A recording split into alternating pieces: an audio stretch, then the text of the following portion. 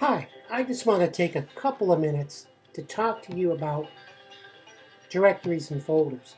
Now, hopefully many of you already know this, so you can go ahead and skip this podcast. But if you're not sure, stay with me for a couple of minutes. If you take a look at my desktop, it's starting to get a little cluttered. And I've got several different files on my desktop that have to do with our projects in this course. So I am going to create a new directory or folder. It's simply a place where I can store all of these files that we're using.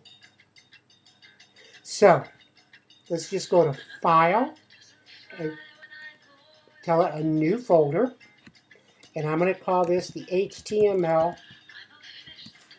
prep course projects.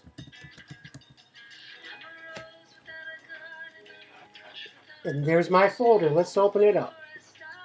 Now there's nothing in it because we haven't created anything yet.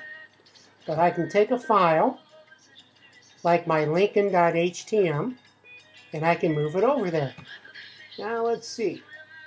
I'm going to move King and I want to find oh Roosevelt and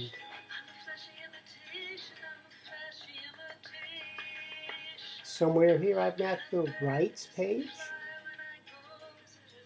but I haven't sorted this in alphabetical order so like a fool I've got to go looking for it. Okay I don't see it.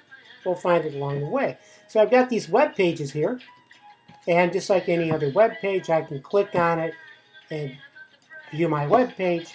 But soon I'm going to be adding pictures. And so I'm going to come in and I've got an American flag image, Theodore Roosevelt, Martin Luther King, and Abraham Lincoln. Now I've got this folder. Let's go ahead and I can arrange it by name or I can arrange it by kind.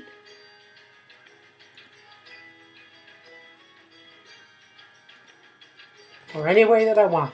Okay, so now everything that I'm going to need for my projects is all in one place. Much easier to find. I hope that helps, and uh, we'll continue in another podcast. Later.